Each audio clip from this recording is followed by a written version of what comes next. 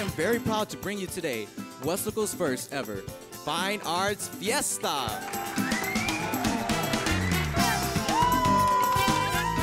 There's a celebration sizzling at Weslaco ISD. Uh, we wanted to showcase what we offer as a district in the, in the world of fine arts. We do have a comprehensive fine arts program from the kindergarten grades through all the way through high school.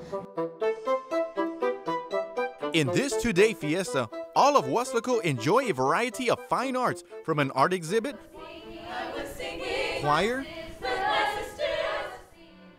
orchestra,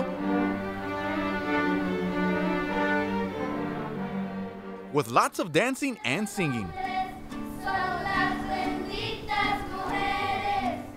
I like it because my grandma comes from Mexico and I like singing and that makes mariachi and that makes my heart. Many kids, that's what they come to school for.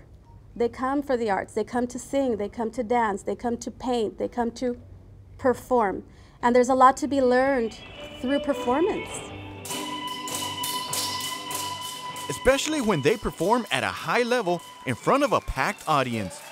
And it all starts in their youth where the seed is planted. I know that it uh, helps students with build up their self-esteem, their motivation. Um, I know my daughter has been playing the violin since she was in second grade, started at Airport Elementary, and now she's a freshman at Weslaco High School. Um, she's joined the, the Mariachi Panteras, and now she's going to be um, here participating in the orchestra today.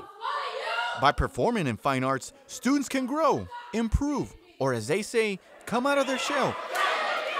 Because this is the opportunity Weslaco ISD provides to our scholars. This event was a chance to let parents who perhaps don't have their kids in extracurricular activities such as fine arts see for themselves the rewards that come with students who are a part of it.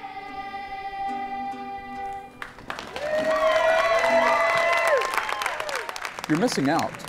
At Weslaco, we have a comprehensive fine arts program, and I think it's vital to the development. Yeah, you can go to one of these other schools and you can get college ready. This makes you life ready. Parents want to come to the schools to see their kids. They can't see what's happening inside the classroom, but they can see this. And they can be a part of it. For KWES TV, I'm Mike Gonzalez.